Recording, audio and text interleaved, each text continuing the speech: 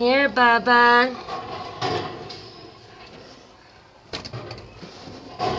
Here's your trash, guys.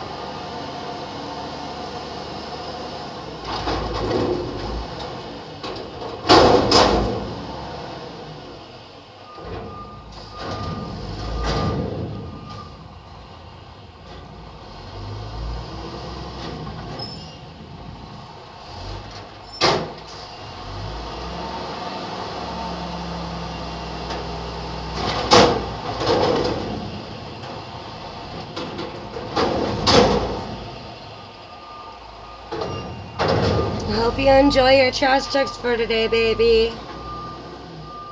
I'm glad mommy was able to record them for you. Love you, Mikey.